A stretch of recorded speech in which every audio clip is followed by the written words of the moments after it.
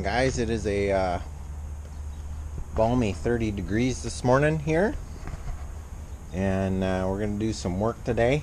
I have a couple of goals for the day. I want to get the hubs and the brakes serviced on the front axle. This hub has some sort of a slow leak. So I'm going to try and figure out where the oil's going. It's probably a CTIS seal, but we'll look into it, replace everything in there, repack the bearings, all that good stuff. We're going to do a full service here, and then I'm going to take apart the brake wedges and grease those up, get that serviced, and get it put back together. So let's get started.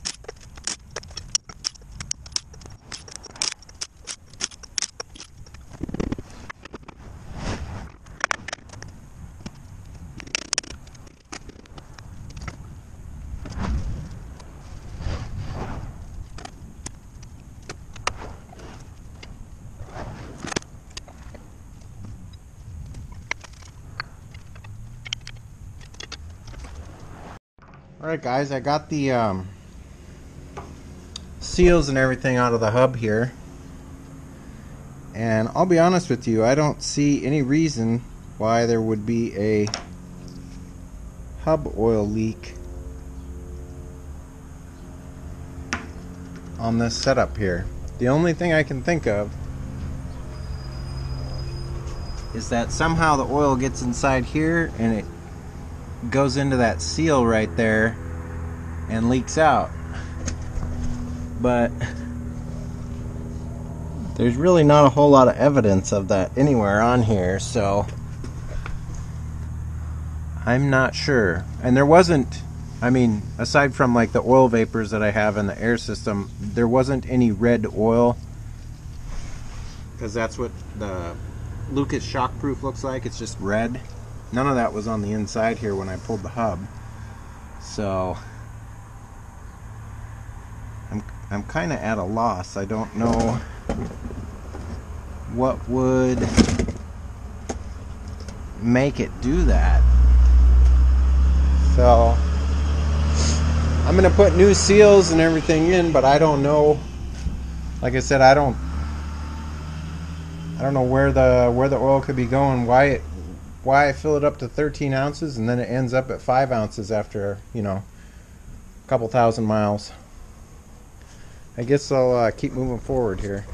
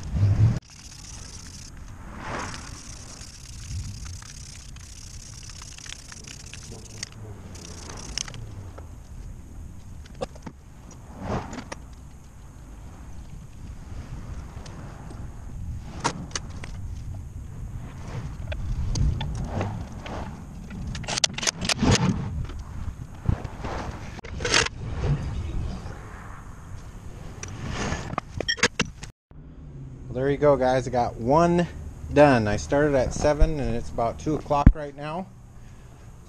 My goal was to get both of these done today, but uh, that's just not going to happen. It's very, very, very time consuming, especially the uh, measuring the shims part. That took the longest amount of time.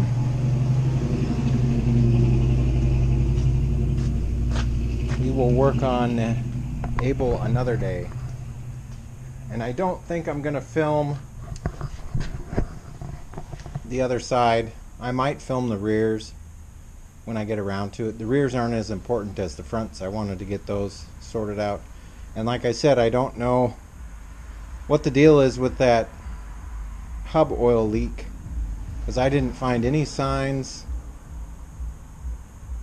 of where it was going. Where I mean, it just disappears. I don't know where it goes, but hopefully, uh, with the new CTIS seals in there, it may have changed that. But we won't know until uh, we get Abel back on the road here and uh, set up for the spring, summer, and fall. So I think that's going to be it for today, guys. Uh, if you like this episode, give me a thumbs up. If you're not subscribed yet, I'd uh, love to have you as a subscriber. But as always, I hope you guys are staying safe, taking care of each other, and I'll catch you next time. See you later. Bye bye.